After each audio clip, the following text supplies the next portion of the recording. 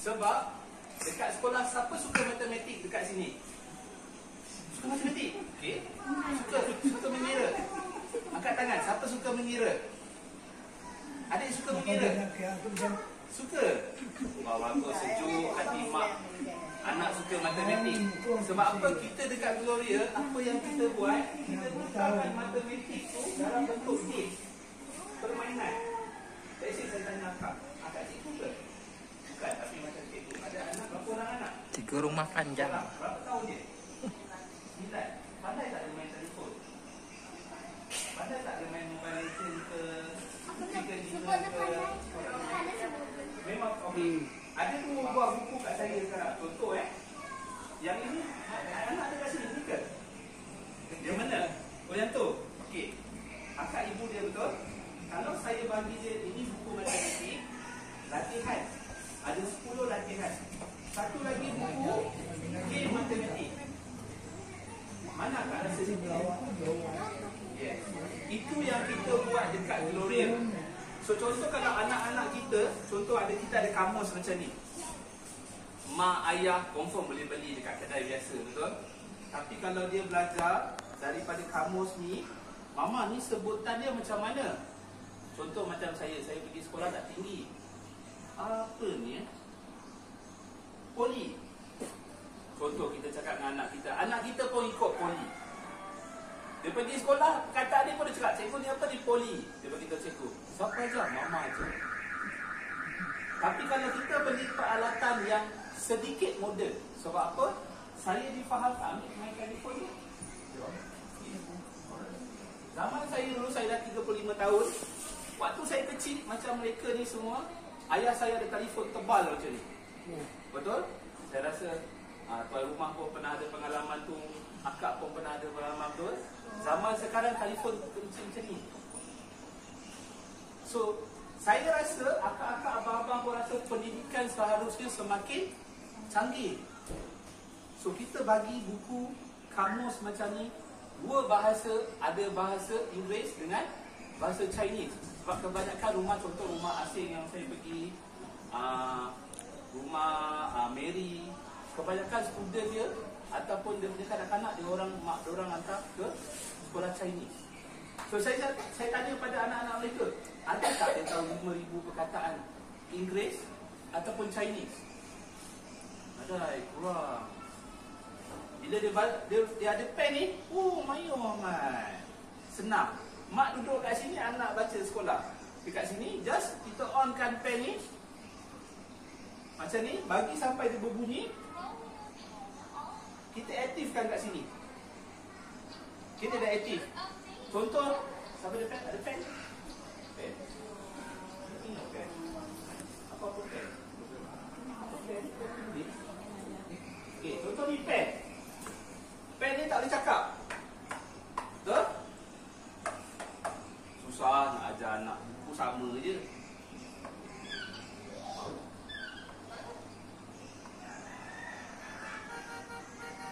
Adik ni apa? Kelab. Bahasa Inggeris apa? Tiga good. Tahu dia punya bunyi macam mana tak? So buku ni disediakan dua kod. Kalau contohlah anak kita ni memang brilliant. Anak aku brilliant. Bahasa Spain, Sepanyol semua dia boleh. Tambahlah lagi satu bahasa.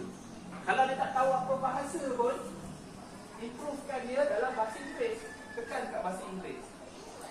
Okay, kita try adik ni. Adik nama siapa adik?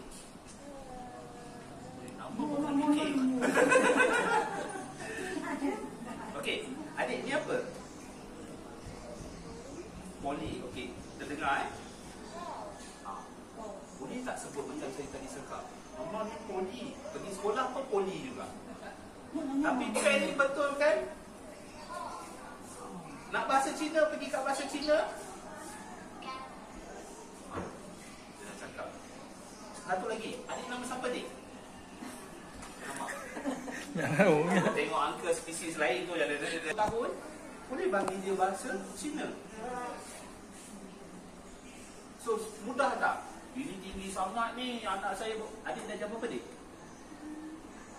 Dah jam 4. Dah besar dah. So perkataan-perkataan ni dia boleh sediakan 5000 perkataan menggunakan pen 1400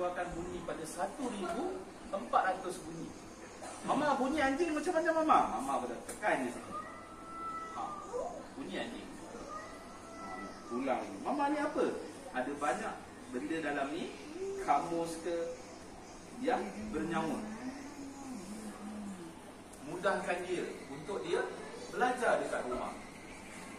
Okey, so kamus ni dia datang daripada huruf A, B, C sampai Z dengan satu pen. Contoh abang-abang akak-akak tanya saya, umur berapa boleh start belajar?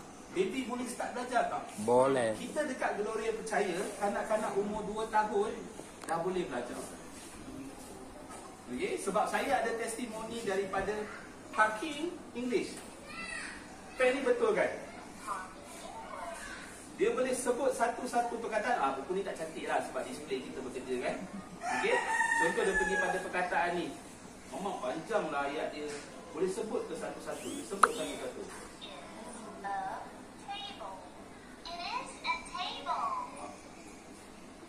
Mana yang susah? Mama pergi kedai buku, beli buku macam-macam.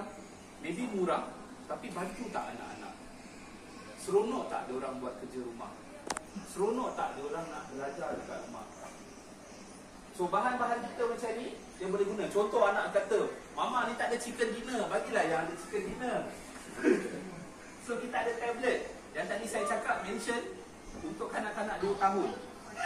So tablet ni boleh ajar start daripada ABC sampai membaca yang lancar untuk bahasa Inggeris.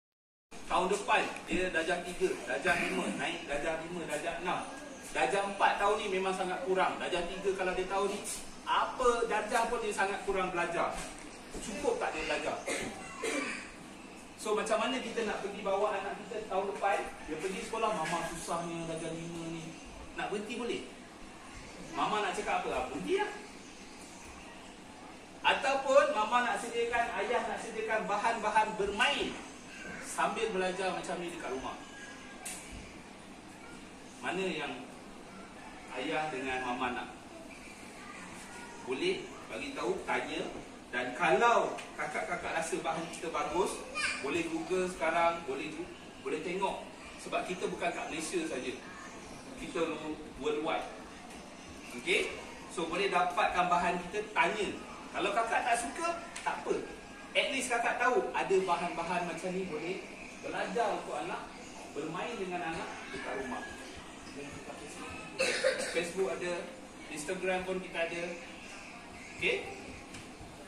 uh, ada apa-apa soalan nak tanya ke sebelum saya bagi pada staf-staf saya untuk cuba bersama anak-anak bermain dengan anak-anak tak ada eh nanti tanya staf saya okey so ibu-ibu abang ada anak lah ada. Dua orang okey. So uh, yang kat sini uh, satu grup satu kumpulan. Yang dekat sini satu kumpulan boleh? Sebab saya tak ramai, siapa nak bertanya dengan saya pun boleh. Sebab staff saya 8 orang saya bagi kat rumah yang luar-luar sana lagi. So, Wilson, you try dengan abang ni, dengan akak-akak. Faiz, you try dengan sini. Eh? Tanya orang apa yang, uh, tu, bawa sekali dengan anak-anak. Okay, mana kami semua kami just tak share lah. Kita bisi orang ke bisi kan nanya pasal program kami kita boleh Facebook, Facebook, ke YouTube, semua bisa ada. Okay? Uh, okay, kami mesti mengerti bukunya. Yang no pen sekali. Yang pennya ada buku hidup. Kamu masuk tu kah? Bukunya oleh hidup. Okay? Tapi ya, ya oleh macam. Lagi yang menjual lah. Okay? Tapi mesti dia itu belajar bahasa Cina. Sekolah Cina. Kadang. Tapi kebanyakan lebaran penasi bahasa Cina lah. Tapi nya dalam bentuk kamus. Okey. Uh, kami dah sempat share tips si orang berminat Kadang-kadang menghabiskan masa di rumah 86%. 86%. Aku kena tanya siapa cikgu terbaik di sini?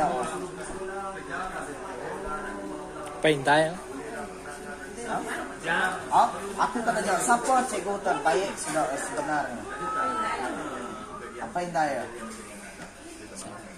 Pinday.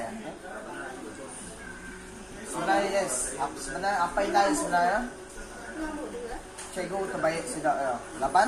Sudah menghabiskan masa 86% bawa rumah. Aku lima dok, kita lima dok, 86%. Dini dini